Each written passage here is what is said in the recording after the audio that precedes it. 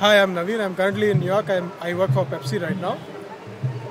What I would do to reduce plastic usage in uh, weddings is to use more uh, disposable and eco-friendly goods.